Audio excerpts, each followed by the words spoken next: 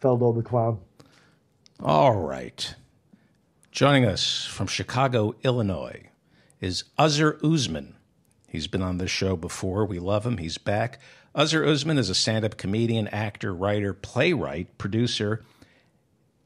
And I guess I have to mention this. Don't hate him. He's a lawyer. Ugh. You're a lawyer. Former, former lawyer. Nah, once a lawyer, always a lawyer. Azhar is one of the hottest stand up comics based in Chicago. CNN calls him America's funniest Muslim. And Georgetown University identified him as one of the 500 most influential Muslims in the world. But more importantly, Dave Chappelle, for whom Azhar has opened more than 50 times, Dave Chappelle calls Azhar Usman untouchable. You can watch Azhar in season two of Patriot. Congratulations. Thank you. It's been picked up, it's on Amazon. You are joining us in Chicago, but you will be in New York on July 20th. You're doing an hour at the comic strip at 9:30, July 20th, as part of the last show of the third annual Muslim Funny Fest, which is organized by the great Dean Obeidallah, who's also a lawyer. Also a lawyer. Yeah, that's true. Are all, all all Muslims are lawyers, right? It's part of the religion. we have a lot more in common with our Jewish cousins than you might think. I should also mention that Azhar wrote the historic White House Correspondents' Dinner performance for Hasan Minhaj. Uh, Congratulations. Well, thank you, but I was I, would, I wouldn't say I wrote it. I was one of the team members. I did contribute heavily toward the closer, which I was quite proud of. But thank you. well, I like to get writers in trouble Okay. because it's just, you know, everybody says that. My mother has friends when I go to a party, they'll say, he writes the Triumph, the insult comic dog show. No, don't do that. I'm, I just, by the way, now we met, I, you just told me we met in, in, uh, Iowa, right? Correct. Correct. God, when was that? Last last year. About Last about year. this time, yeah. About summertime, I think last year. Uh, Smigel was working on his Triumph 2016 election coverage, you know, piece for Hulu. And I know you were right around that project. And then I just got a call out of the blue. Um, God, was it from my agent? This sounds so Hollywood. I don't think it was from my agent even. I think it was just one of the producers on the project was trying to find a guy to play like a you know generic Muslim looking Arab dude for this gag that you guys were doing at a gun show. and, and I think I think it was uh, what's his face Isaac Isaac Yes, yeah, Feder. yeah Isaac Feder he so he just started googling and they couldn't find anybody and then he told me the story that Smigel was like look look in Chicago you know it's close enough to Iowa so he just typed in like Muslim comedian Chicago and then he like stumbled upon me online and so that's how it happened he just hit me up and he was like can you be in Iowa tomorrow and I was like sure so uh, yeah, it was an honor to meet you. And, and like I said, I started telling you before we started rolling. You know, I have a very um, I'm on the fringes of show business. You know, I've been a very uh, I've been very deliberate about maintaining kind of like an indie underground stand up career. Well, by doing this show, you'll remain there. yeah, that's exactly. Well, that's precisely why I reached out to you. I consider you an underground legend. You know, and look, I'm tongue in cheek on that one because I do have so much respect, man, for you know the veteran comics who have found their own way. And you, you know, look, you're balls deep in show business, and you have been in a million things and written on a gazillion things, and you know, you're a comics comic, man. But as far as like being able to maintain a pretty private life, you know, you can still walk around and people are just like think you're another person. Yeah, That's it drives me. It drives me crazy. Yeah, I mean, I can see why it would drive you crazy if you want to be famous, but I, I kind of see that. I see it as a nice altitude, man. I'm not gonna lie. I want to be really. Fa- I, I want to. I want to have a reason not to be able to leave my apartment. See, it's easy to say that though, man. But be careful what you wish for. I know you're joking. You know, famous people like the the trade that famous people make. I feel like, which they don't often don't realize they're making until it's too late, is their privacy for celebrity. Yeah. So I realized recently, like, I would like to be like a solid C-list famous celebrity. like that's a life goal of mine. Like I want to be able to just maintain and make a comfortable living doing stand up with an audience that wants to come and see me, but at the same time like when I don't want to have anything to do with it, I could people just leave me alone and I can live my life with my four boys. Yeah. Well, for me, fame would be nice. I'm going through a divorce, and they just dig through everything. They want the lawyers just they want stuff on you, and I'm an ascetic. You know, I- I'm not Hasidic, ascetic, ascetic, ascetic. Ascetic, yeah, I got you. I knew what you meant. Uh, you know, as I pointed out uh, to opposing counsel, you can dig, but the reason uh, I'm getting a divorce is I'm boring. There's nothing on me. but you keep searching. You'll How long, find. how long? How long were you married, if you don't mind me asking? Uh, I was with her for 30 years. Uh, but you know, I'm like, uh, there's there. I'm an open book. I mean, I, well, I, I probably don't want my porn sites looked at. I mean, I want to, you know, I, I probably wouldn't want people to know, you know, I don't know. I don't even care about that. Uh, I'm just You trying know, to think. I think it's generational also, by the way. You realize that in our lifetime, like probably since the advent of the internet and certainly social media, you know, privacy is over. Like people, young people, my kids who are like 15, 13, 10, and 8, they don't even have a conception of the notion that there's a distinction between public and private space. Now, can I just interrupt you for one second? Sure. I said the same exact words. And you know what they said? Put down the binoculars, get off the ladder, and stop looking through that window, Mr. Feldman.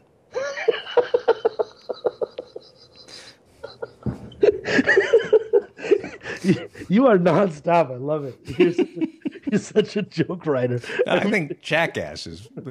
Amazing. They have no sense of they have no sense of uh, of privacy. They have You- no sense. Of, it's no, but it's. I'm being. I know it's funny and it's hilarious. That's a hilarious joke, and I'm being genuine. Like, the, the, let me give you a perfect example. If you are at a party, okay, you're whatever. I'm assuming I don't know how old you are, but whatever. You're you're in your let's say 50s. I'm being generous. What? I didn't. I can't hear you. Who am I said- talking to? you're you're in, let's say you're in your 50s, right? Who are you? In my 40s. I'm in my early 40s. So who are you? Who am I? Are you here to change me?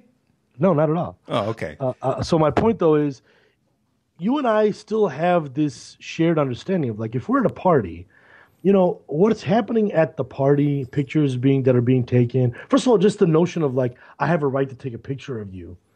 That that that that is a generational difference. Like that that was not okay. to Just go and take a picture of somebody in a private space. Um, you know, in my lifetime, not until I don't know, ten years ago. Whereas my kids have grown up in a world where it's like they don't even get the idea that like somebody would object to being filmed and inside a private space. Mm-hmm. They, they don't even understand that idea. It's so weird. I have a friend who's famous. He said to me that it's impossible to date women being famous because they stalk you on Facebook. Yeah. God forbid you're at a party chatting up another woman, a picture is taken, and you get hell from her. Yeah. I mean, and that's a very practical thing. What about the more fundamental problem, which is, you know, once you're famous, like you don't know why people like you. Exactly. But I already am there. Right. People don't like you anyway. So. Right. I, that's the other thing. I- On this show, I talked to Bruce Smirnoff about this. I'm already screwed up. You know, you can like me because I'm funny, you can like me because I'm nice, or you can like me because I'm famous, and some of it will rub off on you. I don't care just as long as you like me. Sure. I, I mean, there's different ways to live. That's certainly a way to live. But I think there's a lot of people who are hung up on, like, you know, I want to be loved for me. Mm-hmm. And I don't want it to be because of my, you know, money, power, fame. Those are the three things that once you have, if you're a rich person, you're a famous person, you're a powerful person, part of the problem becomes, you know, you're always suspicious of people's motives. Why do they want to be around Yeah. you? What do they want from you? You know, I, I have enough rich, famous, or powerful friends that I'm just like, I don't know. It, it seems like it's not that it, it's not all that it's cracked up to be. Um, if you had a if you had a pick, if you said, "All right, I can have a wife," which you do, yes. but she's going to love me either for my money, my power, or my fame. Of those three, what do you think is the most innocuous? Right, the least grating on my soul. Yeah. Um, I would say probably money. You think money is a nice thing to be loved for? Not no, I, I think it's a horrible thing to be loved for, but it's the least horrible of those three. Why? Because money is really um, a stand-in for security for most people. Go on. So I think that you know what people want. Everybody wants to be loved. That's this is my starting point. My thesis is that everybody is after the same thing, which is that everybody wants to be loved. And part of feeling loved for every person is different, but in general, it's the feeling of you're being taken care of. This person cares about you and they care about your well being and they want to help take care of you. And money is such a thing that enables, in a very practical kind of way, more than fame, more than power, um, money enables a person to feel like, okay, I, at least I know I'm taken care of my needs will be met. I'll have a roof over my my head. I'll have clothes on my back. I'll have three meals to eat. If you're actually rich, then it's like I'm living a comfortable life. I have luxury in my life. I can take vacations. I can have a pool. I can have a fancy car, blah, blah, blah.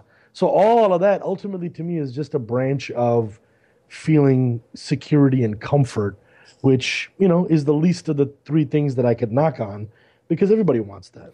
You're saying money is security uh, I'm saying it represents for a lot of people security. I agree with you. Yeah. And yet, we live in a country where nobody has financial security anymore. We have a, a, time of economic slavery, man. Yeah, and we have homeland security. I'm being serious here. Yeah, no, I know. And homeland security is all about making us feel secure against Muslims, against phantasms, phantasms, black people, Latinos. They make us feel secure against, you know, we don't have to worry about Muslims and Mexicans and black people. But the one thing that we're truly insecure about is our financial future. That they won't address. They won't address. In fact, on the contrary, they will, you know, give uh, hundreds of billions of dollars of TARP bailout money to a small group of bankers. Mm-hmm who basically danced on the grave of the U.S. taxpayer. That's what happened. Yeah, absolutely. So, but now yeah, that okay, so now we. it's we... Orwellian, man. It's Orwellian. We're living in a you know, it's it's newspeak. So much of the terminology, the labels used by both media and government, they actually indicate the opposite of what they are. That's a, just a mark of the time we're in. You know, it's like uh, you can deconstruct. I was just talking to a friend of mine recently. He's like, you know, he goes, I get it. He's a very he's a left wing kind of liberal, but he's like, I get all this hate hatred of so called political correctness coming from the right. He's like, you know, why do we use the term trigger warning? He's like, that's what you use when you're about to shoot somebody. Mm-hmm. Trigger warning. He goes, microaggression. Micro. That's what you call when you drop drop a smaller bomb rather than a larger bomb. That's a microaggression. So he's like, you're using these terms trigger warning, microaggression, safe space. Like, wait, are you unsafe? Like, you're at a college or a university, you're at an elite private Ivy League university, somehow you're unsafe. So the terms we use end up actually producing the opposite effect. You're using these terms. I want you to tr- give me a trigger warning. I want you to watch your microaggressions. I want to have be in a safe space. But all of that term terminology is actually just making you feel less safe less secure, and more paranoid. Do you play colleges? I play a lot of colleges, yeah. Is it possible for a Muslim comedian to be politically incorrect? I mean, as an experiment, I would love to do this. I wish. Wow, my show is pretty is getting pretty. I did a very kind of, you know, PG Disney, you know, friendly, family friendly, um, you know, pardon the reference, but Cosby esque kind of friendly show for a long time and then my stand up just started getting more political and more honest and it's gotten to a point where it's pretty it's pretty um it's pretty political man i mean but is it politically incorrect one of the things that triumph did in philadelphia during the convention is he decided this was one of the I, this this is the hard. I, anyway, I just love Triumph. Uh, Love Sam. What did he do? so during the Democratic convention, we go to Philadelphia, and riding the Hamilton craze of African Americans and people of color playing our founding fathers, we hired an African American comedian in Philadelphia to dress up like Ben Franklin, and we said, "We have, ladies and gentlemen, in front of Independence Hall." In front of all these white Democrats, we have the guy who plays Ben Franklin from Hamilton. And the guy wrote a rap, right? And it was, it, it answers my question can a person of color Be, politically correct. politically incorrect? So he talks, he does this rap about, it's Ben Franklin, it's the Ben Franklin rap about how freedom and the Constitution and independence is all about taking white women from behind and oh my god! and just stuff about the booty and the the police and going down and get and he, and to some people's credit, they were offended. it was like it was like and we're sitting in a truck watching this. Like, it is it is they, they are constitution constitutionally incapable of right. seeing a black man as politically incorrect. And and I, I forgot the name of the comic who did this. He was so funny, and he was just trying to prove that point. Do you get mean- history? So you're at you're at a you're working. you, well, let me tell you something. When you was telling the story and the kinds of offensive things the guy was doing, I have to t- I have to confide in you. I have to I have a confession to make. Okay. How long has it been since the last time you were here? Since our last time. Forgive me, Father David, Feldo the clown. For I, I have committed many comedies since. among them, among them, the fact that I um, I love the fact that a Muslim is confessing to To a Jew. Perfect. Yeah, that's America. Um, what, what what I was gonna say was um, when I saw what happened to uh, what's her face, Kathy uh, Griffin. Griffin. Griffin. Kathy Yeah, Griffin. Kathy Griffin. What's her face? is it, actually that's what a lot of people said after her plastic surgery. Oh my god, that's so mean. Please tell me you're friends with her. I love Kathy. Okay, good. I don't know her, so I don't. I really, love her, and she's and she's beautiful. I really don't like to do that. To you know, like there's so much of that. You, you remember that VH1 show um, where they would just like diss celebrities? Yeah. I forgot the name. Yeah. So I got asked to do that, and I was just like, I don't want to be part of this whole. I think that's part of what's wrong with celebrity culture. Mm-hmm. It's just like you know, lowest common denominator, making fun of the way celebrities look or whatever. It's just stupid. Anyhow, the, she she uh, the the gag that she did of holding Trump's bloody head. like I had a thought, like I had thought of that idea as like imagine me doing that shit, and that is like to me it's a experimentally just in my mind as an artist like isn't it isn't an idea like that the very limit of free speech testing the limit of free speech you know? You're the lawyer, not me. Well, yeah, I mean, I think that it's illegal, but I wouldn't do it because it would basically sabotage my entire life and career and probably, you know, put my family family's safety at risk. But uh, but ultimately, like you know, it's a perfectly legal uh, expression of a political dissent. You know, I mean, it's and she and she's a comic, and it's an artistic photo taken by a provocative, you know, photography uh, a photographer who was doing it as a, a piece of political art. Like, I honestly don't have any problem with it. It's fake outrage to me. I, I, I was not offended by it. I don't think Kathy Griffin is going to sneak over the White House fence with a guillotine. Why did she apologize? Yeah, 'Cause- she's, she's because not going to behead. She's not going to behead Donald? Trump. Uh, I think the right wing, when they come for you, they're pretty scary. If you know, if you're a public figure. Right. So you have to either at that point choose to double down, dig your heels in, and be like, "No, I'm not going to apologize," or you just have to cave to all that pressure. Yeah, I think being scared is scary. I mean, when you're Scared, scared, like, was scared like for her safety, or scared for like her professional career? I think just the issue of have you ever been scared? Have you ever been paranoid? I think that's the difference between Republicans and Democrats. I, I think Republicans are scared all the time, so they don't realize that they're scared. I think Democrats are occasionally scared. And when mm-hmm. they do get scared, it's terrifying. So they relate to other people who are scared. I think Kathy had is pretty fearless. I think she had a moment of fear. Interesting. That's human.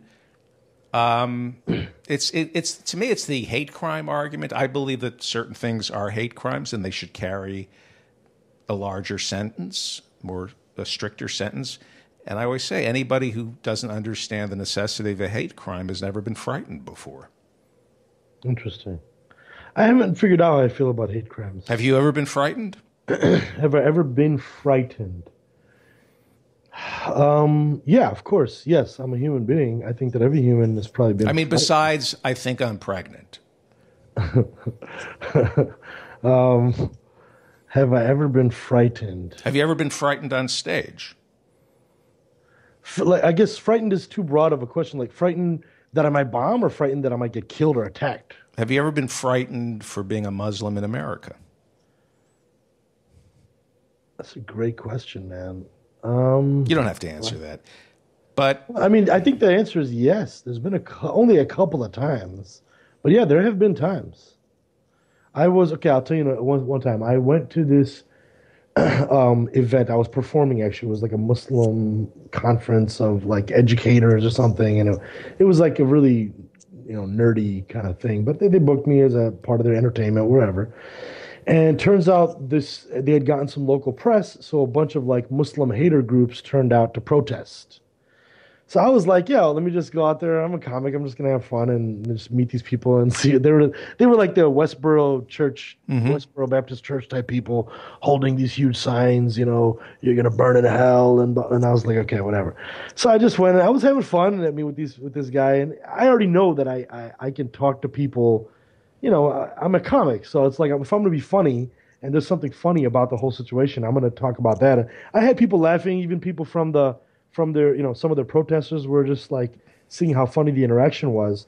But then this guy, like one of the head guys of their group, he started getting really, you know, like when you're busting somebody's balls and then suddenly they'll be like, yo, you want to take this outside type of thing. So he just flipped on me and he just started just like looking in my eyes and like, yo, I want, he's like, you want to, you want to, you know, we, we, could, we could do something about this. or Something like, he hmm. said something really cryptic and that was the only time in my life for a moment I was just like, dude, this guy could have a gun right now. You know, like mm-hmm. I'm standing outside this venue. This is unsafe. I should just back down and leave. So I just like smoothed it over and I was like, no, man, it's all, we're all good here. You know, I respect your right to your views and right. I wish you the best. And I just left. But that was one time where I thought to myself, like, wow, this guy seems like one of these crazy people. You know, you know, there's where their lights go out. When you look in their eyes, and yeah. all of a sudden the lights have gone out. Yes, yes, yeah. that's exactly what it was. One of those moments. Yeah. And by the way, let me also mention. I don't know if people know this because it's like it hardly gets reported on on the press, but you know, there's been multiple um, instances of this type of protester group I'm talking about showing up outside of mosques in America with weapons, armed to the teeth, like in in you know in in parts of the country where you can carry a weapon if you have a if you have a, a permit, they will show up with weapons like strapped guns, rifles, yeah. ammunition, like Rambo type, outside of mosques. Man, little women, like women, little kids going inside to pray, and these people are just like chanting and shouting outside of a mosque, fully armed, and that doesn't get reported on. But that that stuff is extremely frightening to me. It's interesting that you bring that up because on the Triumph show that you were on, we went to a gun show, and the idea, right, was what? Well, as I first of all, when the, the gag never happened, right? Because we got we got uh, we got thrown kicked out. out. Yeah, we got kicked out of the out of, out of the gun show. But the idea, as I recall, was to go with Triumph to actually no Triumph would have his own booth at the gun show. So it's like mm-hmm. it's, all the other regular sellers and normal, you know, vendors of, of various rifle and gun products. And then Triumph has a booth there. And then throughout the gun show, there would be multiple characters planted by the producers like myself, dressed as like a looking like basically a terrorist from the Middle East. Uh, uh, uh, a, a black dude looking like basically a thugged out gangster. You know, a Latino guy looking like he's a criminal or a crim- part of the criminal element, and you know, playing up basically all the stereotypes that are typically uh, the kinds of people that you know right wing Republicans kind of hate on, are scared of, and certainly don't feel should should have a gun. And, and and basically these guys going from booth to booth trying to get a gun, everybody turning them down, and then him go them going to Triumph, who's of course like, yeah, we, we guns for everybody, you know, we believe in we believe in the, their arms. And, and it's a it's a elaborate it's a brilliant I, I would say What, what wasn't wasn't also the idea that you were dressed sort of to look like Os- Osama bin Laden, and wasn't weren't we going to charge people to hunt you down or something? Well, I think that I, I, I was never, to be honest with you, fully in on the full think- range of the gang. I was. I think Triumph was going to charge. I think, as I recall, Triumph. We did a couple of. We tried it with a couple of people where we would give people a, an actual gun, to hunt me. That's right. and then and then we, you'd get. you would have. Evolved. Huh? The, gag the gag evolved into that because we got kicked out, and then we tried to make the best of it outside. Do you remember that? We set up Mm-hmm. the, set up the van and tried to have Triumph's booth outside. Mm-hmm. And at that point, pretty much all the other actors had gotten nixed. Like it was just not going to happen. but but I was just standing around watching, and then you were like, "Yo, go, just go in there, go in there," and I just like creep into the frame, and then, and then Smigel is operating Triumph, telling this random white guy like, "What do you want this man?" You got to give him a three minute head start. But he's a slow. I remember Triumph said, "But he's a slow runner." You could. You could hunt this Muslim. Yeah, and then he turns to me and he's like, "Convince him to hunt you." and I just went into character and I was like, you know, my family is, my family will get paid and taken care of in Afghanistan. Kill me! I want you to kill me. so.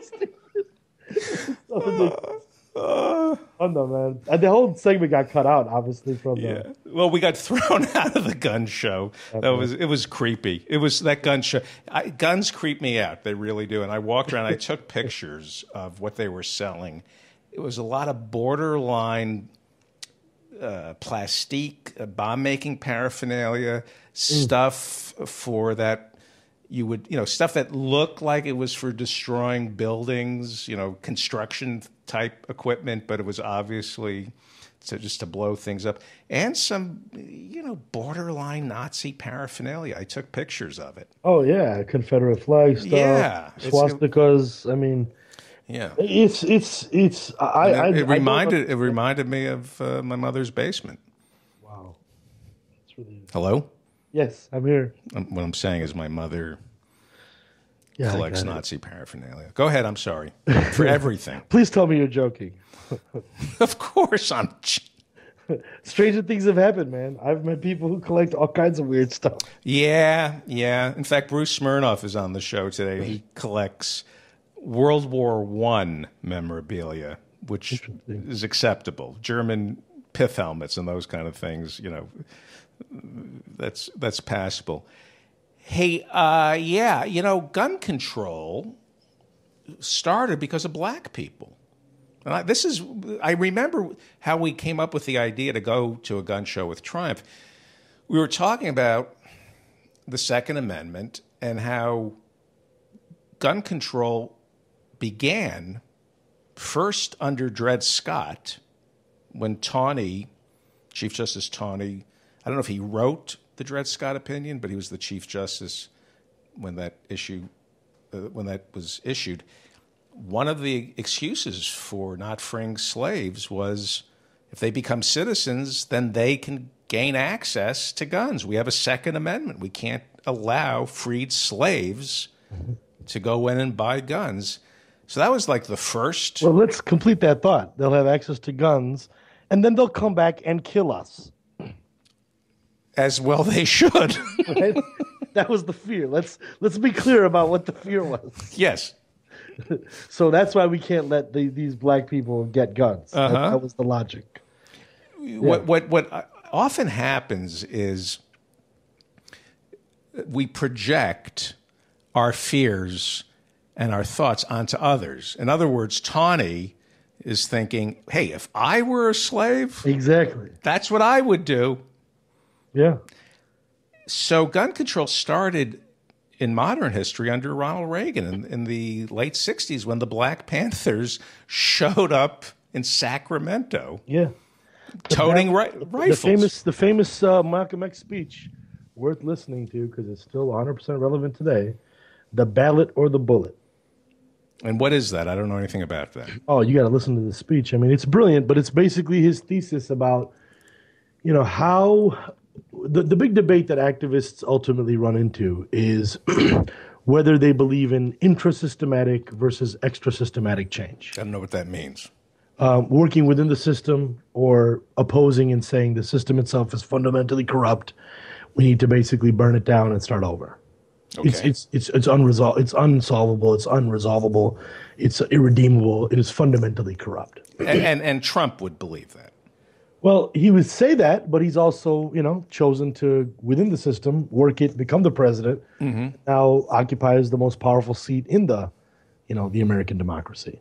So, you know, he's he's done a wonderful job. It's back to the point I was making earlier, like using words that to mean their opposites.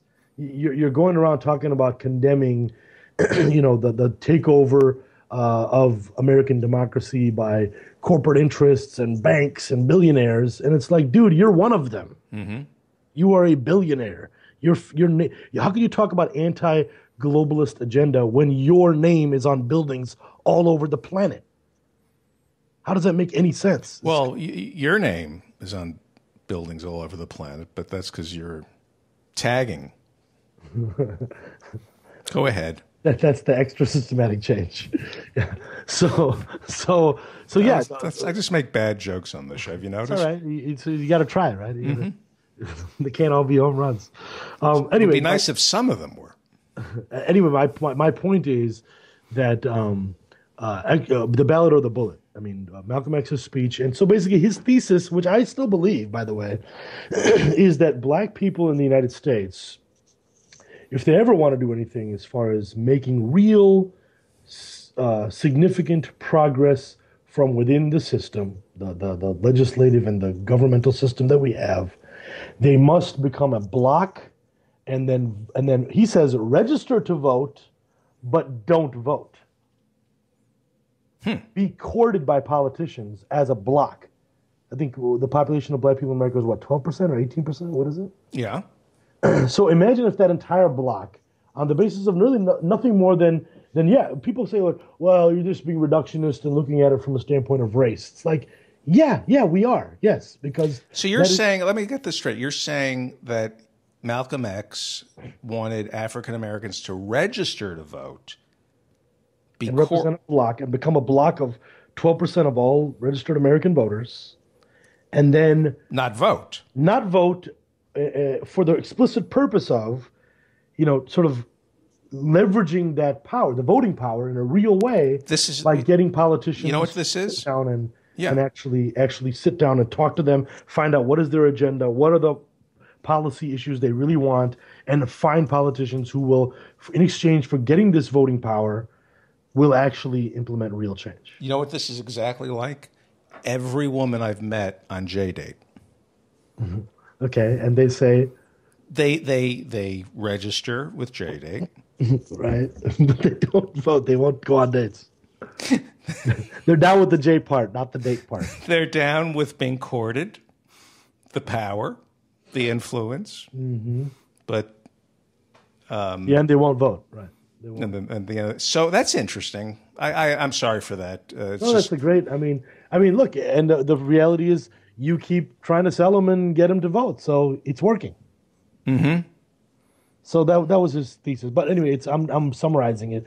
But the idea of the ballot or the bullet, the notion of, you know, if you want violence to stop, right? You you, you the, the the thing that gets ignored, I would say, in the vast majority of civil conversations in this country when it comes to politics is the fact that out of one side of the mouth we want to moralize about how evil violence is, which of course it is, and on the other side, our country, our foreign policy, our military behaves in arguably the most violent manner of any state actor on the face of the planet Earth. Right. Hey, couple questions. I'm tired of talking about it, but I haven't had a Muslim on the show this week, except for you. Okay. And Bruce Smirnoff. Bruce Smirnoff. and brother Bruce. And brother Bruce. Bill Maher. Yeah, man. Bill now, Maher is in some hot water over that comment. So I've had Dean Obeidallah on the show. Mm-hmm. Brilliant guy. And he wrote a brilliant takedown of Bill for really? having Milo Yiannopoulos from Breitbart on earlier in the year. I read Dean Obeidallah's piece, and it was just so well written. You know, he's a lawyer. He just made the case. Mm. I think it's called IRAC when lawyers make a right. Yeah, right. Issue. God, I haven't thought about this in a long time. What is it? Issue, rule, application, something. Yeah. Uh, conclusion. Yeah. And I thought I was going to make an Iraqi joke. I apologize, but it was it was it was just so well written. And he does not like Bill Maher, and Bill Maher doesn't like him. I think Bill is brave, but I think there's mental illness when it comes to his anti-Semitism, and by anti-Semitism I mean the Muslim stuff. Because interesting, yeah, they're, they're, Semites. I, I don't know that he's okay. Here's my take on it. I wrote something, by the way, as well, which I, chose not to publish. I'm happy I didn't because my thoughts have been evolving. But um, do you remember when Bill Maher and Sam Harris had that kind of um, face off with uh, Ben Affleck on mm-hmm. And uh, you know Ben Affleck was pushing back on what they were saying, and he was saying you're being basically racist, you're being, you know, uh, phobe here, phobic, and uh, you're painting all Muslims with a very broad brush. now go had, see my movie about the Iranian hostage yeah, crisis. Yeah, but they had this very interesting exchange. And I would argue that actually that exchange was uh, perceived as less nuanced than it actually was. Because I would argue that Sam Harris made a more nuanced point. He said, if you go back and watch watch the tape, and I have very carefully, he says a comment. He goes, "Islam today is the motherlode of bad ideas." Okay. Okay. The qualifying term is today. So he's actually commenting, and if you read his writings, and I have, you know, what he's critiquing is politicized religion. And you know, the, the the the the only beef, the only exception I have to his arguments is like, hey, Sam Harris, I, I hear you loud and clear, but let's be even more clear. It's not just a Muslim problem. Religion has been hijacked by politics across the planet Earth. Mm-hmm. Zionism has hijacked Judaism. Right wing evangelicals have hijacked Christianity. Islamists have hijacked Islam. The BJP and the Hindutva movement in India has hijacked Hinduism. The violent uh, extremists in the name of Buddhism, I forget the guy's name, in in uh, in um, Japan, who's like literally uh, led, like had had made violent terrorist attacks in the name of Buddhism, has hijacked Buddhism. Like this is a global problem of religious fundamentalism.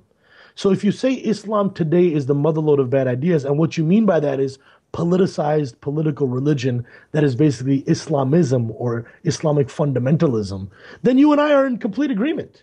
And I would argue that's pretty much all of the critiques I've ever heard of uh, Bill Maher of quote unquote religion, even including in Religulous, his movie. Mm-hmm.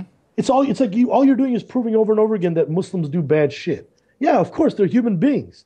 That has nothing to do with the doctrine of the religion or the teaching of the of the of the prophet or the classical teachings of of the scholars or what have you. Like he he completely glosses over any mention or any discussion of actual substantive, you know, uh, questions of faith or morality or religion, and just wants to talk about politics and identity. We we have no I have no disagreement with any crit- critic of religion who has identified this problem of identity politics having hijacked religion. I completely agree. And all religions, not just Islam. All religions, exactly. Religion in, in the modern world has become synonymous with identity politics. Hasn't it always been? Haven't they always said? Hasn't it always been praise the Lord and pass the ammunition? no, mean, seriously, hasn't it always with the crusade? I mean, it, it it's has, a valid point of view. I mean, I would say that religion, the history of religion, has is, is a complicated, complex, nuanced history that has definitely one huge aspect of it is what you're talking about this empire empire building violent kind of usurping religion for purposes of the state. And then it has this parallel track of like you know producing beauty and spirituality and art and music. And some of the greatest scientists were deeply religious people. Some of the greatest artists were deeply religious people. So religion has a complicated history. I think that judging you know something as gigantic as a, a sphere of human life as religion and everything that historically that encompasses in a soundbite is precisely the problem And he's not really helping. I'm talking about Bill Maher. I'm, I don't think he's helping by having this conversation. He's free to have the conversation. You know, I, I don't know. I don't know Bill personally, but I think it all comes down to. I, I suspect that he is, you know, simultaneously, uh, you know, a great comic. There's no doubt about that. I think he's a very sharp and bright person, and at the same time, like you know, he's kind of nihilistic about the fact that, you know, he, he wants to be. He's a he's a celebrity. He's a famous guy. He's got a platform. He likes being provocative. It's good for him. It's good for publicity. It's good to be provocative. You know, I, I started watching Bill Maher's career carefully ever since he made that comment about um, you know back in when he had uh, when he had the show on on ABC uh, politically correct, and he called the the 9/11 hijackers, you know, brave, right. and said uh, they're, they're you know we're, they're not the ones who are cowards. We're cowards. Wasn't it Dinesh D'Souza who started that, the, the right wing bigot who kind of intimated, I, as I remember it, and I remember, uh, on Politically Incorrect, it was Dinesh D'Souza who kind of intimated that they weren't cowards. And then Bill picked up on it. Oh, is that right? I think don't so. Yeah, I I think so. it. It's Yeah, funny because right. Dinesh D'Souza is that, you know, isn't, he's a right wing piece of dung. Yeah, he's he's he's we we consider him in the brown Indian community as basically one of our Uncle Toms. And what would his religion be? He's a Hindu, as far as I know. I mean, I think he grew up Hindu. He may have converted to Christianity. I remember reading something online, but suffice put- it to say that he's he's a, he's a demagogue, man. He's an ideologue. He puts the do in Hindu. Dude, now I need to Google this. By the way, I mean, That is, what- you're going to look him up. Wikipedia. Yeah, we, we don't deal. We don't. I'm tr- obsessed with. I'm obsessed with. Uh, here we go. New atheism. Dinesh has been critical of new atheism, by the way. Huh. All right, if you want to bring he grew up in- facts into this conversation, He grew up in India. so if you're going to, and what is he like? Did he go to Dartmouth or something? Is he part? Christianity, Christianity, and religion. Dinesh attended the Evangelical Church Calvary Chapel. Did he get Laura Ingraham pregnant? Did he? Look it up. As long Well, as you're going to. well, I can tell you, it says Dinesh uh, D'Souza says that his Catholic background is important to him, but he's also comfortable with Protestant Reformation theology. So he identifies himself as, a non-denominational Christian. Did he go to Dartmouth? Did he go to Dartmouth? Good question. Just make it up. You don't. This is the David Feldman show. We don't deal with truth. Fair enough. Just say yes. Say he went to. Did he go to Dartmouth? I'm not gonna lie about whether he went to Dartmouth. Come on, man. He, I think he was part of this right wing cabal at Dartmouth. you believe in that stuff, man? Cabals and like Illuminati type theories. Well, I'll get to that in a second. Can you tell me whether or not he knocked up Laura Ingraham? um, I think- I, I don't. You know what? Let me do this. Dinesh, Laura. While you're looking that up, I should mention that we are talking to Azhar Usman this uh, July, July 20th. He's going to do an hour at the comic strip on the Upper East Side of Manhattan. Come see him at 9:30. It's part of the third annual Muslim Funny Fest organized by our friend Dean Obeidallah. And now back to Azhar Usman with the answer was Laura Ingraham knocked up by Dinesh D'Souza? It seems that there is some relationship here. Uh, Ingraham was previously engaged to Indian American political commentator Dinesh D'Souza. Like they were definitely romantically linked. Whether or not she was impregnated by him would require further research and investigation. Uh, the rumor, uh, Yeah. The rumor is Laura Ingraham remains unmarried, fending off any issues of husband or divorce. uh, w- uh, wait a second, wasn't she married at one time? She was, yeah. Well, the rumor is that she and Dinush, what's how do you pronounce his name? Dinesh. Dinesh made a baby. Is that right? That's the rumor that I'm trying to get started. No, I had heard a rumor that she. no, I, I'm just, you know. I want no part of this rumor, man. Yeah, I, I'm just. I hear things. What they're saying out there is Dinesh and Laura Ingraham made a baby that didn't come to term, even though both of them are right wing and pro life. That's what they're oh, saying. Oh, so that's the That's the talk. so that's the if that if if true would prove you know hypocrisy like to an nth degree. But I doubt it's true, just because a lot of people who went to Dartmouth say that. Interesting. You know how people talk. People who went to Dartmouth in particular. Yeah, they're nasty gossips. So let's return to that question I asked you. Do you believe in that stuff? Do I believe in cabals? I think that Skull and bones. I think there are cabals to get things. I think there are conspiracies to get money, power. I think you can conspire among groups of individuals who will all work together and remain silent to further their own financial or military or violent ends. The mafia has shown that there is omerta, that you can kill and murder and steal, and people will die before they turn anybody in. Jimmy Hoffa, there was a conspiracy to kill Jimmy Hoffa, and somebody did it.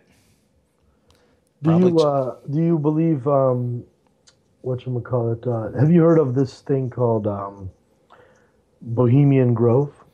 where I was naked with Richard Nixon, where where industrialists meet near Stanford in the woods among the eucalyptus trees and the redwoods, and they commit homosexual acts to gain each other's trust.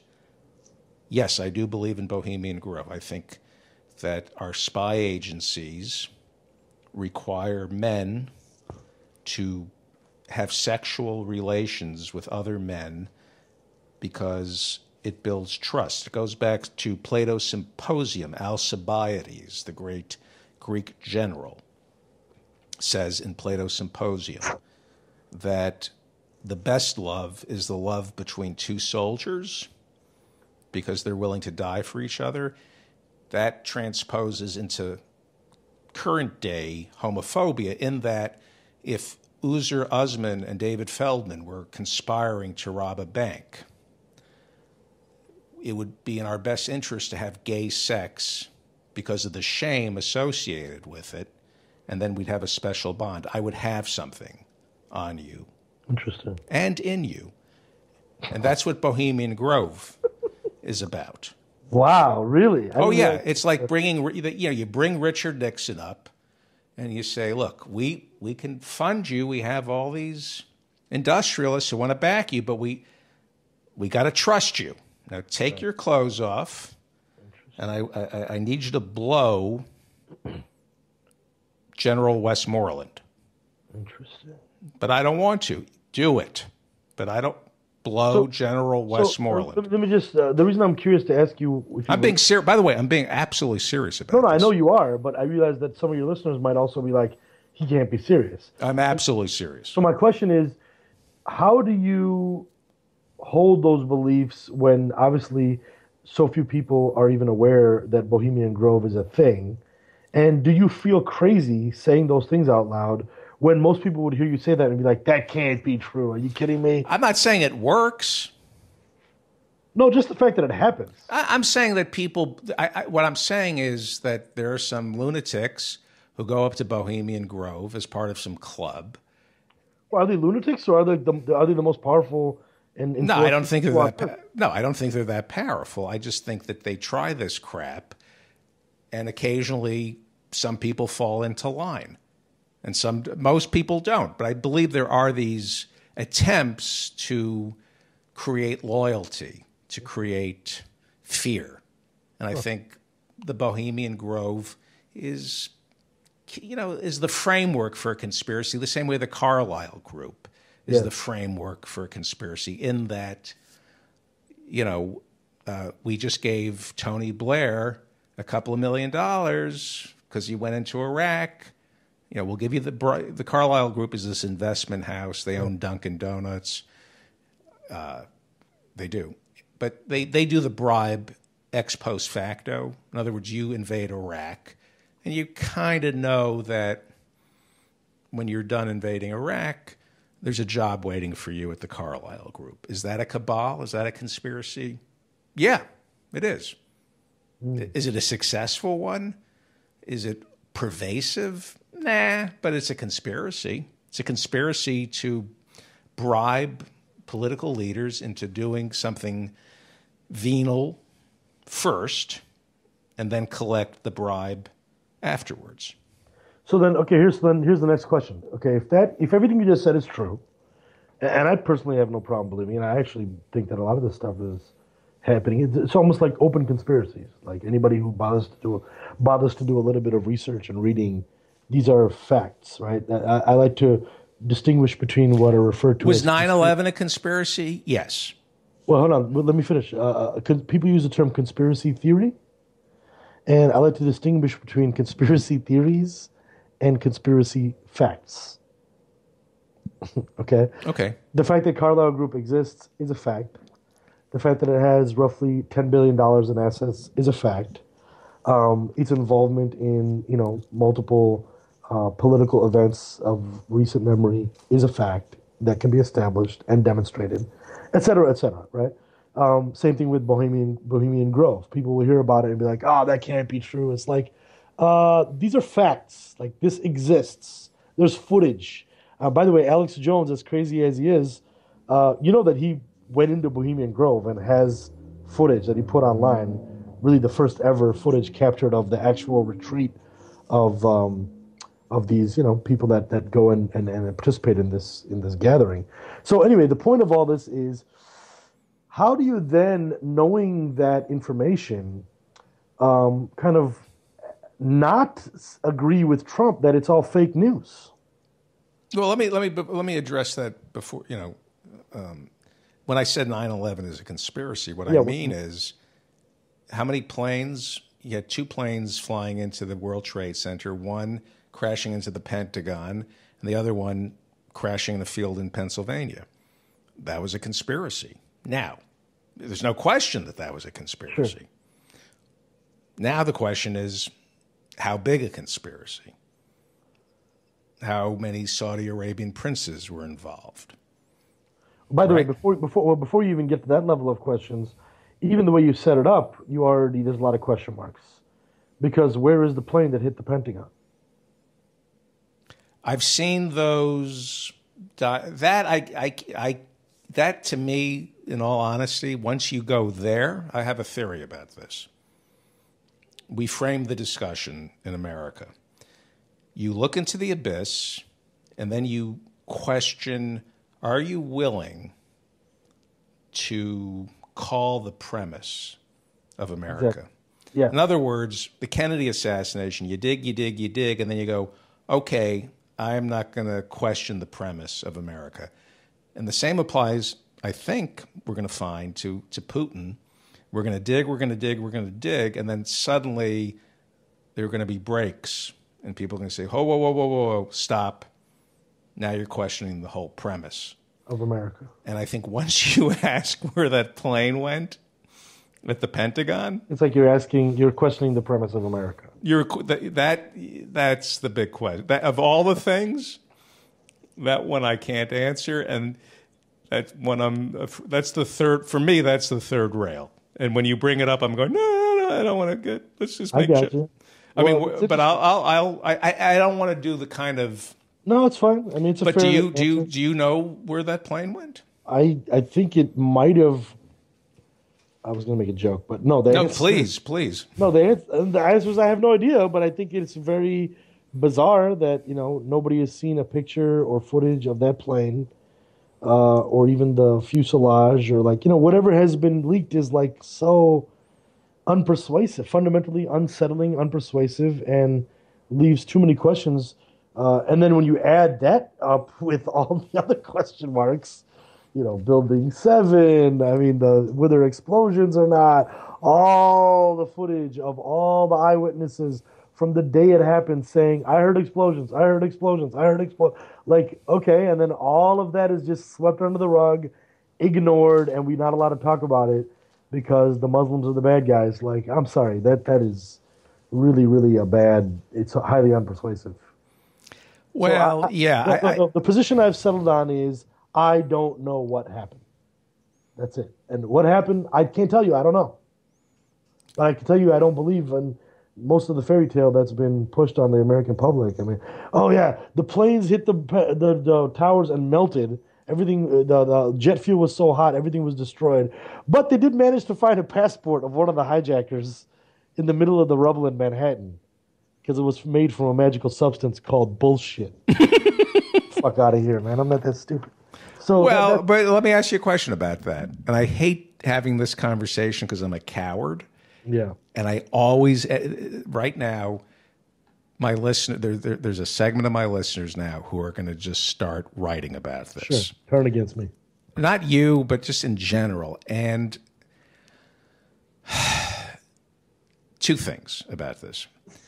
I think 9 11 is like the Kennedy assassination. There yes. was definitely a conspiracy. There were rogue elements within somebody's government who let something happen. In other words, I think the Saudi princes turned a blind eye to Osama bin Laden. They may have contributed money, I'm pretty sure. I think the Bush family and the bin Ladens and all that kind of stuff is very complicated. Mm-hmm. And I think the same thing happened with the Kennedy assassination. I think a mm-hmm. lot of people turned a blind eye to protecting Kennedy in Dallas. They weren't. It was a, more a sin of omission than commission.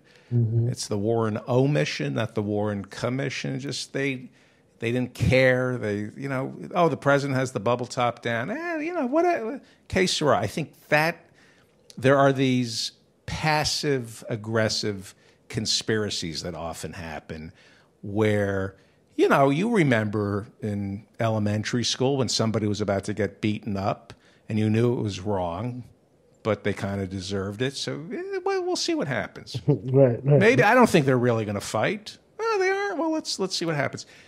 That's what I think happened with 9/11, and I think that's what happened with Kennedy, and it's pretty horrible. Yes. And it has to be looked into. I think the passport that you mentioned is kind of like OJ's bloody glove. Right, OJ. Right. In that Fuhrman may have had his own little conspiracy to frame OJ and left the bloody glove there and tampered with the evidence. But that doesn't mean he didn't do it. Exactly. Yeah. Yeah, that's let me tell you something. As a Muslim because I've obviously heard, you know, this debate happen um, both in in public and private, you know, with people who are fellow Muslims, people who hate Muslims, like just 9/11 and unpacking all the different layers of it, right? Mm-hmm. And what what what is annoying to me is when Muslims will try to be like, well, this is all just you know uh, a conspiracy, and 9/11 was either an inside job or was you know kind of what you're saying, it was like a JFK assassination type plot, and you know, Bin Laden was just a useful idiot, and the Al Qaeda was, you know, was co-opted for the purposes of this larger uh, conspiracy, and they were just used. They, they, ended up being classic examples of what in the Cold War were considered useful idiots. Mm-hmm. They wanted to attack America, so it's like, okay, we'll let we'll let them do it, and we'll advance our own interests. So that's the thesis that I've heard from you know some people make, and my my my pushback on that and my big problem with that is like, yo, any interpretation of the effects of 9 11 that tries to absolve Muslims and the religion of Islam on the planet from, uh, from the fact that there are very dangerous, radicalized, extremist, violent elements who are, in the name of religion, committing mass murder is, to me, a very disingenuous position.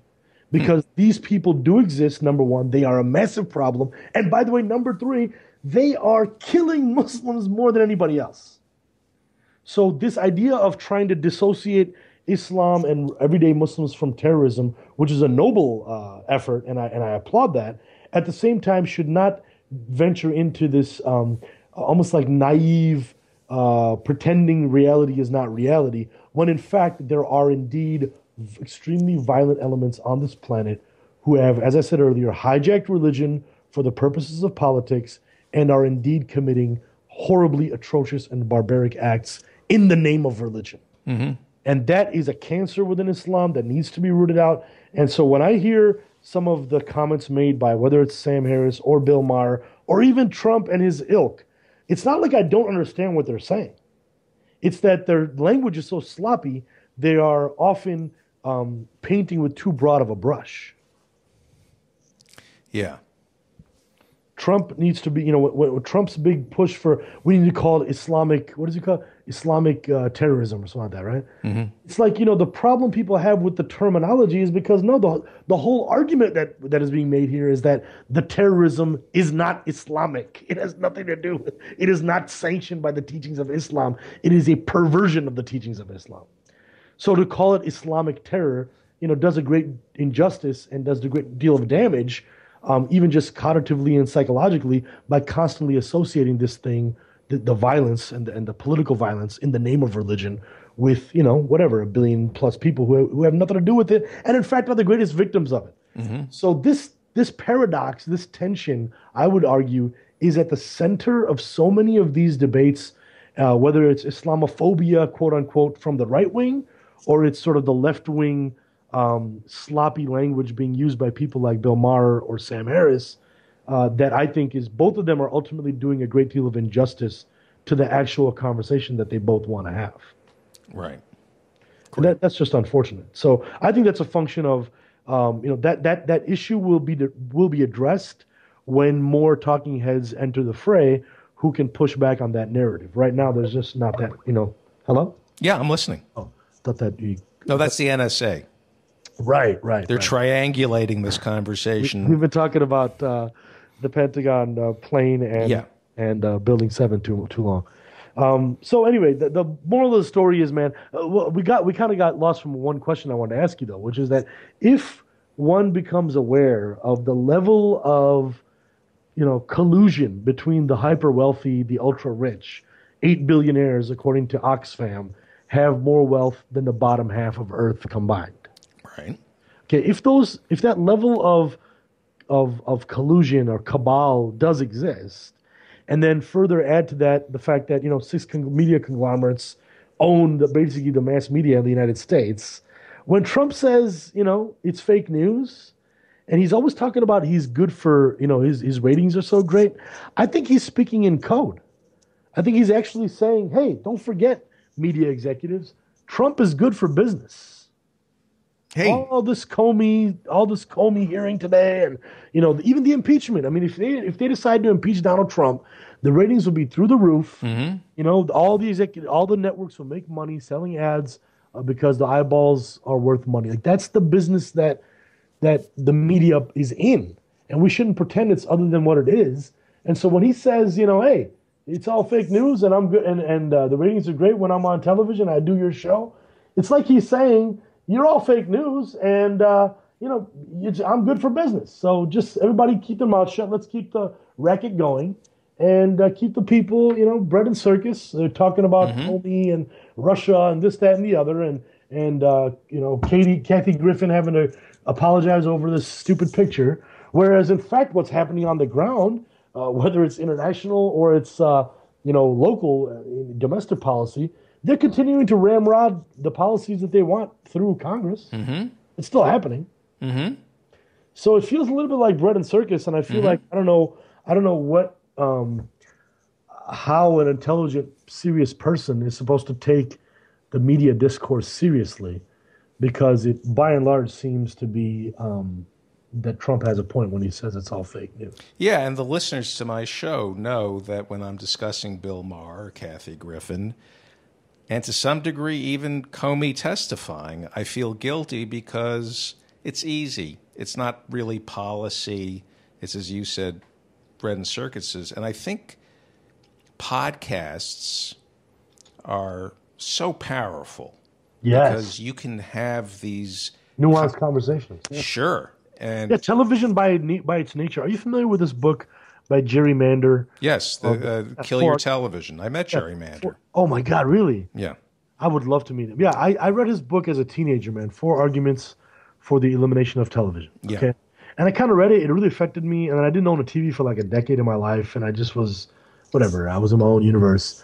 And then I kind of ended up in show, you know, in comedy and kind of tangentially in show business.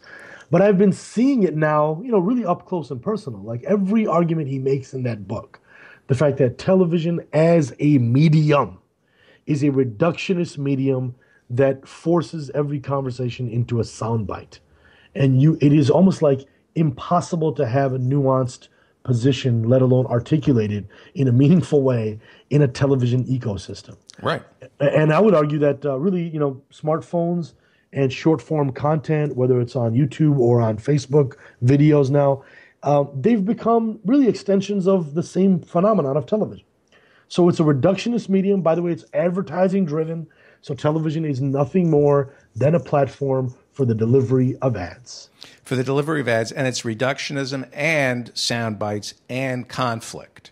Yes, there has it- to be conflict, yes, not yes. information. It has to be conflict, conflict, that's and right. and that's the service that the false equivalency provides. It provides conflict because you just can't tell people the truth because that's too much of a responsibility. Interesting. That requires too much. No, I. So my- I, so I really struggle with this, man. I think that podcasting has a tremendous, uh, you know, possibility as a medium to really rival um, this this this other type of medium. This all these reductionist mediums, and I honestly don't know if the same thing is going to end up happening though, because it's already seems to be happening. You know, the commercialization of podcasting, the, the practical need to have to make money off of it, so you got to get a sponsor, and before you know it, I mean, these advertise the same advertisers who are you know putting sixty billion dollars of ad revenue in Google's pockets every year and funding the entire ecosystem of all these hundreds of channels and movies and you know pop culture and and and it's a handful of advertisers man they basically run everything That's the great point. That's what's being missed about newspapers. I, I think you read the same articles I've been reading, in that newspapers are making money online. I'm not talking, you know, the New York Times is making money through subscriptions. They've kind of abandoned the advertising model for online. they're like hbo Yeah, uh, but you know, re- your your local newspaper that covers your little city. Those newspapers make money. Unfortunately, not for themselves. They make it for Google and Facebook. In other words, the Des Moines Register. They run ads on their website. They make money. yes But Google is selling those ads, and Facebook is selling those ads, and that's a multi, multi, multi, multi, multi billion dollar business. absolutely it's in fact the most it's not an exaggeration to say some of the most sophisticated technology that exists on planet earth including the algorithms and the and the and the guts of the google the architecture that runs google okay some of the most sophisticated technology on the planet earth exists for only one purpose and that is to figure out how to commodify human attention to collect ad revenue Right. that's all it is And they have to be broken up. Google has already set itself up to be broken up. as alphabet Yeah, and they they've have different divisions. They they have to be broken up, as does believe huh I bel yes, and Facebook. It's a uh, it's a monopoly it's not good to have that much power yeah, and it's good for everybody if you break it up. antitrust basically is uh, Antitrust is good for people who own the company that's being broken up. It so? it forces diversification. You when you Right. break up AT and T, that was the last big breakup ordered by the Judge Greene, I think in '82 or '83. That was beneficial to people who owned AT and T because they broke AT and T up into five separate bells, five separate companies. Well, if you owned AT&T, you've got stock in five separate companies. You own AT&T, we're breaking you up into five separate companies. The owners now have stock in five companies plus AT&T. It's good for everybody. It's good for the consumer and mm-hmm. it's good for the stockholder to break these companies up. You're not destroying value when you break up a monopoly, you're creating it. That's what people don't understand about antitrust. When when you enforce was it the Sherman Antitrust Act? I can't remember. It's one of them, yeah. Or the Sherman and the Peabody, I don't know. That you're creating if you when they broke up Standard Oil, the owners of Standard Oil got 12 different companies that they now own stock in, and all those companies start competing with one another, which is bad. So- So, one of the, if you own stock in all 12, one of them is going to break through and become ExxonMobil, and you own stock in it. And then you'll break that one up. And then you break. Well, actually, what's happened is all the companies that got broken up uh, after the AT and T antitrust action have all gotten back together again. Oh, if you, really? If you trace the companies that got broken up in the '80s, they're back together again. Yeah, I mean, that's the. You remember that scene in uh, in Network? Mm-hmm. Uh, in the board, the famous Ned, boardroom. Ned scene? Beatty. Ned Beatty. Yeah, that that that that's everything, man. He summed it up. He summed up the world that we are not living in. We already were, but it's just even more in your face now. Yeah, Standard Oil, Rock, is- Rockefeller Standard Oil was broken up Yeah. over about. It took about hundred years. that It's back together again. Did you know Paddy Chayefsky? I I'm not that old. I thought maybe you met him when you were young and he was old. I, I think when did he uh, pass no. I, I but I love Network. I love Hospital. Did he write Marty? He wrote Marty as well. I think those are the three movies he he won. Oscar. You know, you know, he's the only three-time Oscar winner for original screenplay.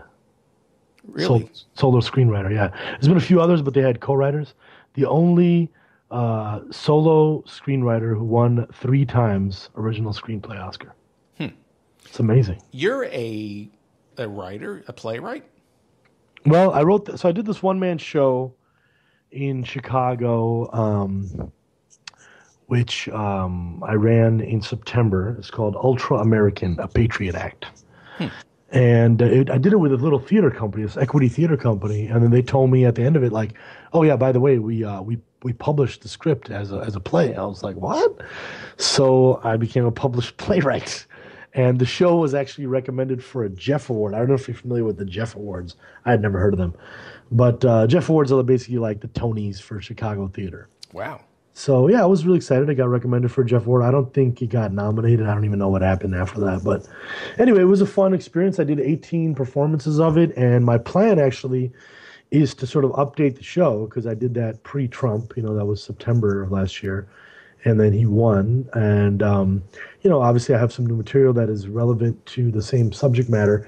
So I'm kind of updating the show right now, and then I want to do a run of that uh, in New York and pos- possibly LA and then I would like to actually use that as the basis to film my first ever one hour special. That's, Well, the the one hour show that you're doing at the comic strip on July 20th. I think it's basically yeah, it's a preview of that. That's the third annual Muslim Funny Fest at the Right. Comic Strip, nine thirty. I guess people would go to Muslim Funny Fest on That's Google. Google that, and you can buy tickets. Hey, You can can also you, just go to my website. I'll have Yeah. the link up and all that. Azhar.com. before you go, you'll come back. Bro, I love you. I'm honored to be on your podcast. Hey, brother, man, Happy to come back whenever you'd have me. you you got it, brother. A fan of yours. You you know I love you, brother. Hey, brother, Yes, brother. can you speak for all Muslims? I, I want to end on one note here. Of course. I, I want you to. I, I, I, I'm having you on the show to speak for all Muslims. I will speak for all white people, although I'm not white. Jews, man. You get to speak for Jews. You don't get to speak for all white people. Yeah, that's you know I'm kind of that's what I How was did, how, did, how did Jews become white people in America? Can we talk about that? Uh, How did that happen? shiksas. that that that because that is uh that is one of the greatest magic tricks ever. Are you kidding? I mean, that is fantastic. Well, you know, You, you can speak on behalf of all Jews. I don't know. You have to get a license to speak on behalf of all right, white people. I uh, on this show we're going to talk about Jackie Mason with Bruce Smirnoff later. Nice. My big argument with Jackie Mason on the streets of Manhattan in 2008. It was near Columbus Circle. I stopped him. We started talking. We didn't really know each other. And he looked at my then wife and said, You married out of the religion? And I said, Yeah. And he said, uh, You've killed more Jews than Hitler by marrying out of the religion. And we got into like a two hour argument Wow. in Manhattan. Was where- he being? Was he trying to be funny? Or yeah, he was trying to be funny, and I was trying to be funny, and I actually convinced him that intermarriage was the best thing. What's better for Jews? Right. I said at, at one point, I said, "Do you think it really helps us if we have more people looking like you?"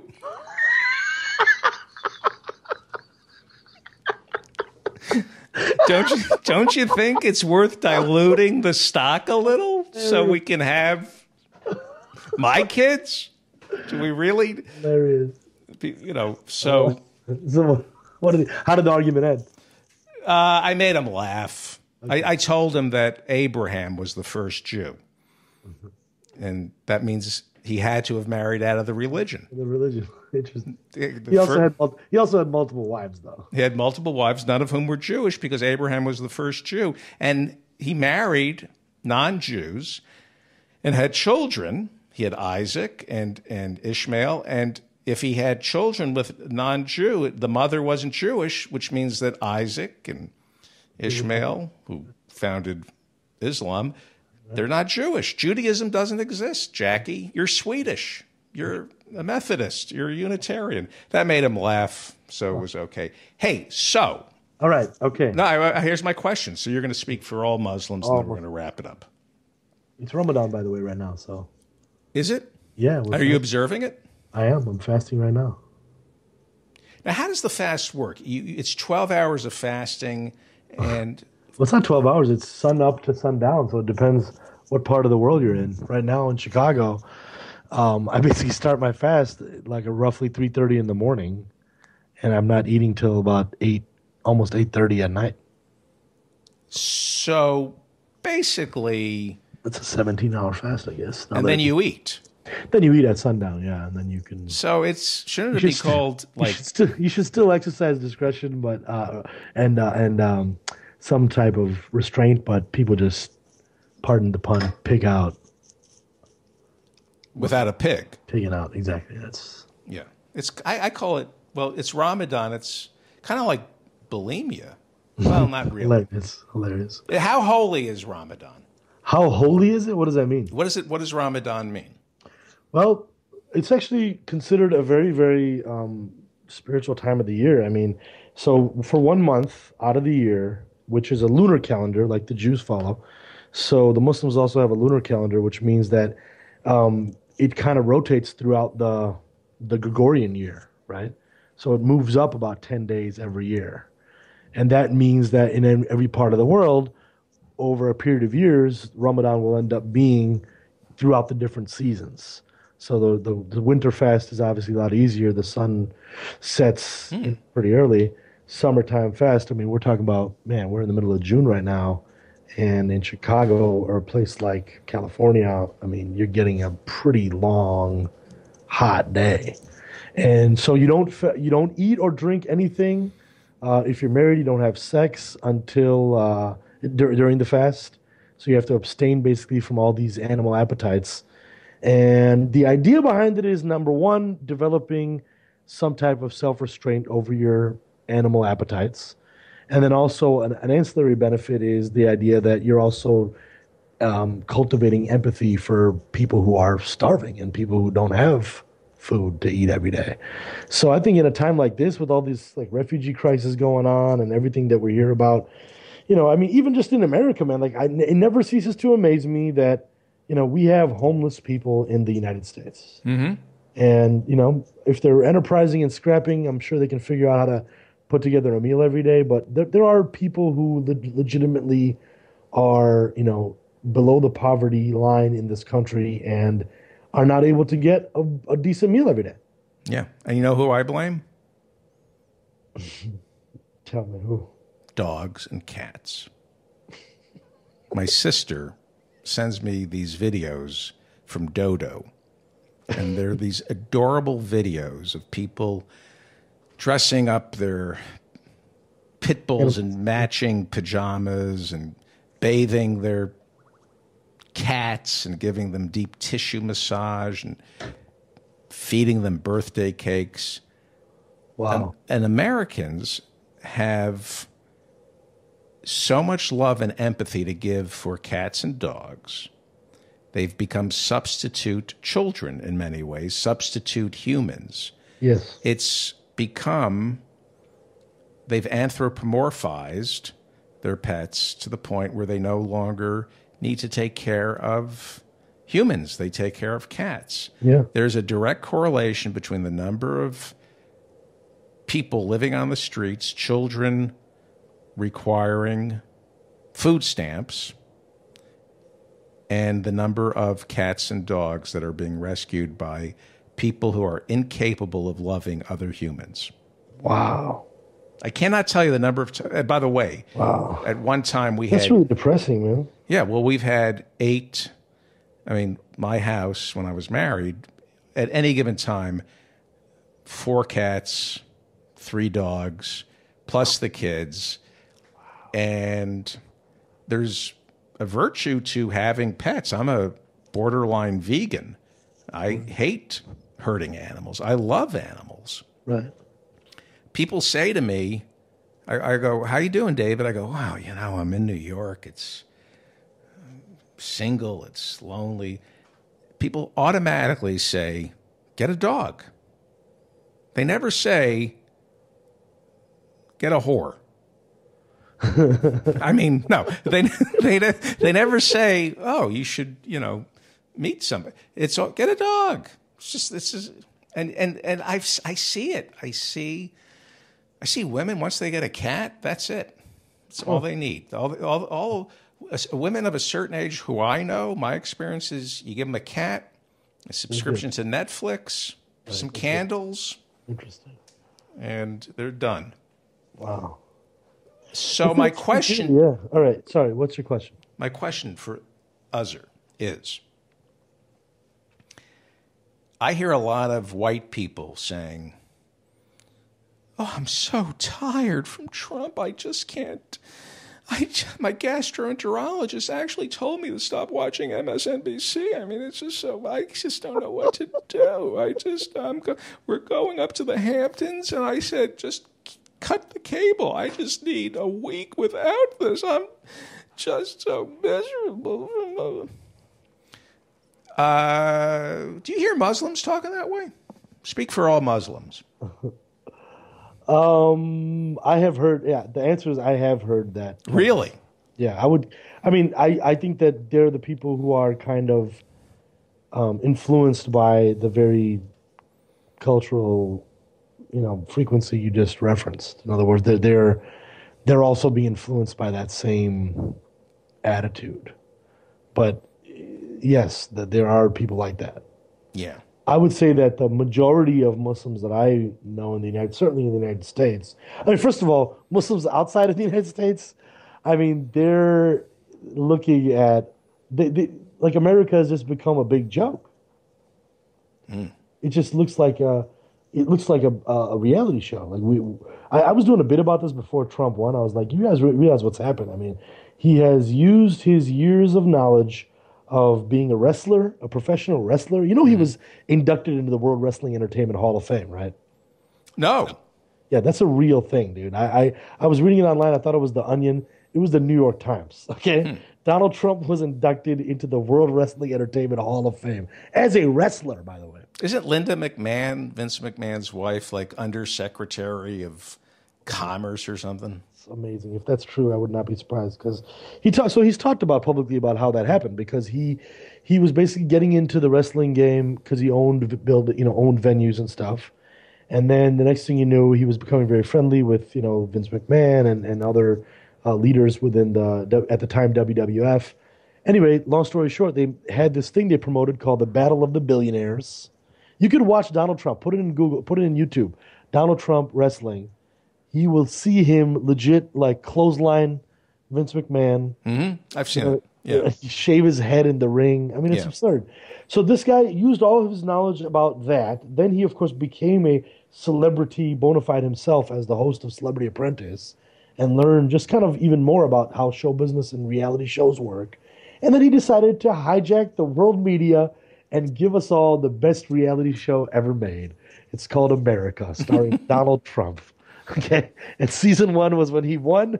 And now we're in the middle of season two with all the twists and the Comey situation and the Russia investigation. And, you know, like season two finale is, is going to basically be probably, you know, w- once he's been off, once he's been in office for a year. Yeah. So suffice it to say that this guy is a living reality show, and the rest of the world is just looking at. I talked to friends of mine who are Muslims, and even other people who are not Muslims. Certainly comedians. Like, they, America is a joke.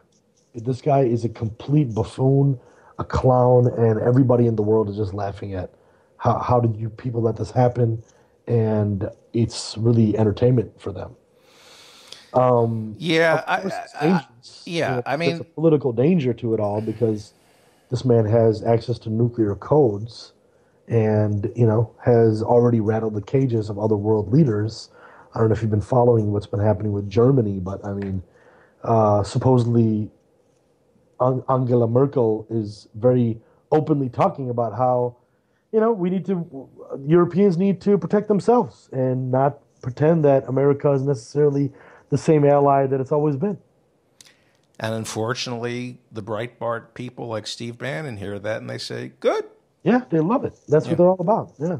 So anyway, I would say that um, Muslims around the world kind of fall into that bucket, which is like, yo, this guy is a clown and he's a dangerous clown, and it's unfortunate, and they feel bad for Americans mm-hmm. for having having you know having for being stuck in this situation. Muslims in the United States, I find, are of sort of you know two or three types. Either they're the crying, whining type you mentioned earlier, or they're like activists, like, you know, we need to be in resistance mode and hold the feet to the fire and be collaborating with activist organizations and uh, the ACLU and challenge, you know, Trump's uh, travel ban and, you know, blah, blah, blah. Like they're on the case. And then there's the third group, which, you know, I would say I kind of belong to, which is sort of like, you know, I just don't take politics that seriously because it has become part of the celebrity game. Mm-hmm. Politicians are celebrities. And the whole celebrity game is just this, you know, what we were talking about earlier. It's a fake news, you know, commercially driven, ad driven platform of television and news media that is basically owned by a small group of people. And as Jerry Mander talks about in his book, you know, television is anti democracy because it's the idea of allowing a few people to have control over this incredibly powerful medium that is basically brainwashing people 24 7 and advancing the narrative that this handful of people want to advance. Mm-hmm. All of whom could fit in a single golf cart with Donald Trump, by the way, mm-hmm. in Mar a Lago. So I just don't take the whole thing too seriously and I resign myself to more of a, you know, history is in good hands because I do believe in God, and this too shall pass. And if it doesn't, then we're dancing on the Titanic. What are we supposed to do? Very good. Azhar Usman, how do people reach you? Um, I got a website. It's just my name, Azhar.com. It's spelled Spell A. it. It's spelled A Z as in zebra H A R dot com. Great. You'll come back soon? I hope so, brother. Thank you. Stay on the line. Oh, very quickly, if you want to see Azhar perform, go to the comic strip at 9.30 on July 20th. And he's part of the third annual Muslim Funny Fest, organized by the great Dean Obeidallah. Stay on the line. Thank you. Thank you, sir.